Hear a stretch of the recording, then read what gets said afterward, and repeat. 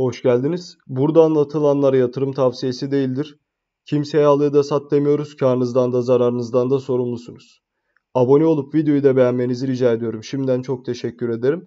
Ee, özellikle son vakalardan sonra yani biliyorsunuz Güney Kore tarafında e, belli başlı tutuklama emirleri vesaire vesaire vesaire çıktı. E, hatta en son işte pasaportun iptali gibi e, durumlara kadar geldi olay arkadaşlar. Bütün bunlar olurken tıpkı geçmişte olduğu gibi e, yatırımcılar tarafından da e, bir toplu davaya Duvon e, maruz kaldı arkadaşlar. Bu bağlamda tabii ki pek çok etki de var. Her ne kadar e, şu anda ortada bir yükseliş söz konusu olsa da e, Duvon tarafında e, ne yazık ki çöküş durumu hala devam ediyor.